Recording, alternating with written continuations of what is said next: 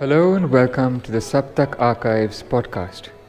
This is a new initiative by Saptak, and our objective is to propagate our musical heritage and to build a vibrant community around it.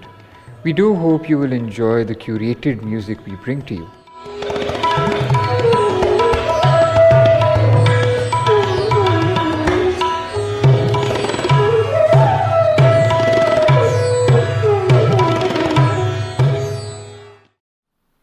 Namaskar and a warm welcome once again to the Saptak podcast. This is the last episode of our monsoon series, and in this we shall listen to Rag Miya Ki Malhar by legendary sitarist Ustad Shahid Parvez ji. Tabla accompaniment has been provided by Pandit Vijay Ghate ji. Before signing off, we sincerely thank all our listeners for their encouraging engagement. We do hope this has added more delight to your listening experience. Thank you.